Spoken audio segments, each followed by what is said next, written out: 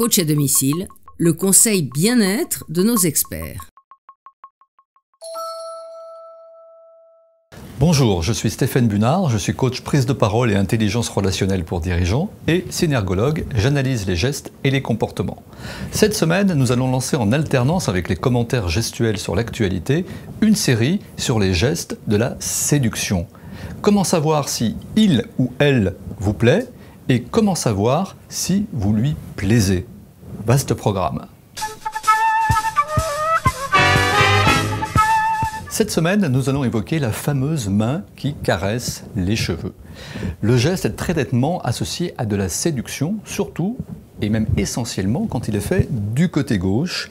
Le geste est lent, les études le montrent, il dure 2 à 6 secondes, en moyenne 3 secondes. On va le voir chez l'homme, chez la femme et surtout quelle que soit la taille des cheveux, les cheveux longs, les cheveux courts et même chez les chauves.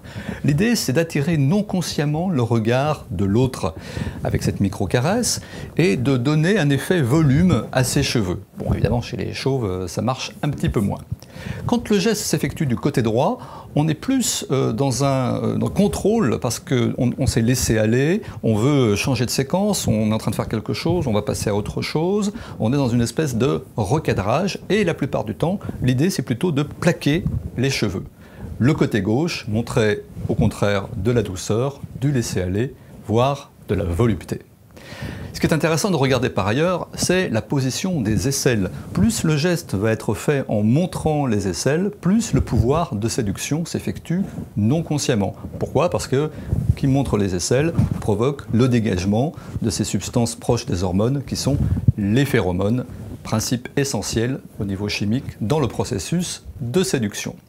Alors attention à un faux ami, quand la main euh, passe dans les cheveux, caresse les cheveux, paume à l'intérieur de la main, le geste s'effectue de façon euh, euh, répétée parfois ou de façon assez rapide, voire en micro-fixation en restant sur les cheveux.